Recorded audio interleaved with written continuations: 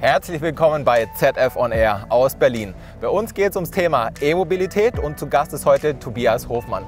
Tobias, was machst du bei ZF? Ja, ich bin bei ZF der technische Projektleiter für den elektrischen Antriebsstrang für die Formel E für das Team Venturi. Alles klar, ich würde sagen, da wollen wir mehr drüber wissen. Ähm, das machen wir im Zeppelin. Super, freue mich. Tobias, erzähl mal, warum engagiert sich ZF so im Motorsport? Ja, da gibt es verschiedene Gründe. Nur um die zwei wichtigsten zu nennen, ist natürlich äh, der Rennsport ein ideales Umfeld, um neue Technologien im äh, extremen Umfeld äh, zu erproben. Und zum anderen, was viel, viel wichtiger ist, ist, dass wir die Erkenntnisse, die wir hier aus diesem Projekt sehen, auch direkt in die Serie einfließen lassen können. Für das Formel E-Team Venturi kommt von ZF ja nicht nur die E-Maschine, sondern auch Getriebe und Leistungselektronik.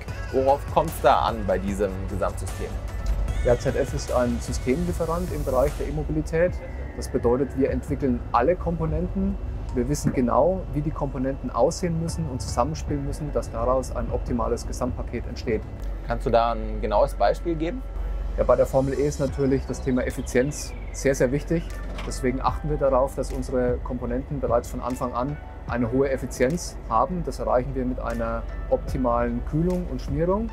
Außerdem Kombinieren wir das mit dem Thema Materialwissen, so setzen wir zum Beispiel auf äh, Carbon ein, um ein sehr niedriges Gesamtsystemgewicht zu erreichen und kombinieren das noch zusammen mit unserer Software, um daraus noch das letzte Quäntchen an Effizienz herauszuholen. Ja, also man merkt, da wird richtig viel Kompetenz aufgebaut. Fließt die dann auch in die Serienentwicklung ein? Selbstverständlich äh, fließt die in die Serienentwicklung ein, zum Beispiel bei dem Thema Siliziumkarbid, eine relativ neue Technologie im äh, Bereich äh, der Leistungselektroniken, mit der ich die Effizienz des Systems nach oben treiben kann, also die Verluste senken kann. Und das bringt mir im Fahrzeug mehr Reichweite bei gleicher Batterie. Ja, sehr, sehr spannend. Vielen Dank, Tobias. Und ich würde sagen, jetzt genießen wir noch ein bisschen die Aussicht hier.